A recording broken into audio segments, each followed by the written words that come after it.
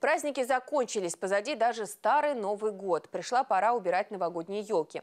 Для тех, кто обзавелся искусственной красавицей, вопрос решается предельно просто – в коробку и до следующего года.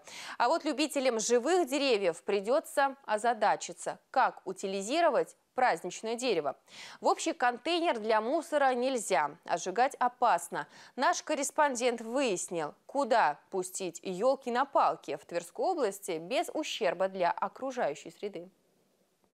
Перед теми, кто предпочитает на Новый год ставить живые ели, в середине января встает вопрос, а куда девать успевшее подсохнуть дерево? Кто-то решает проблему кардинально и безответственно. Выкидывают прямо из окна. Однако десантирование елок таким образом попадает под действие Кодекса административных правонарушений 6.4. Нарушение санитарно-эпидемиологических требований к эксплуатации жилых и общественных помещений, зданий, сооружений и транспорта. Если камера зафиксирует нарушителя, придется выложить штраф до 1000 рублей. Но есть же быстрый и законный способ избавиться избавиться от символа Нового года, вынести в контейнер. Ну и это нужно делать по правилам. В Твери в этом году для этого установлены специальные бункеры-накопители.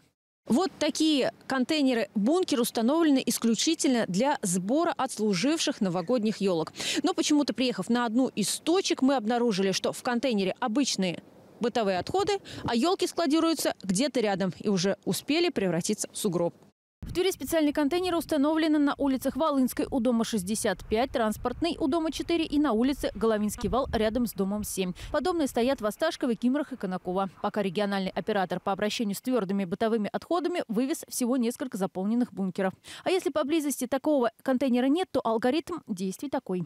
Мы э, рекомендуем складировать елки просто в отсеке для э, крупногабаритных отходов на контейнерных площадках или ставить рядом с территорией площадки. Э, призываем ни в коем случае не складировать их в обычные контейнеры, так как при погрузке в мусоровозы может повредиться прессовочный механизм специализированного транспорта, и также от тяжести дерева может повредиться сам контейнер.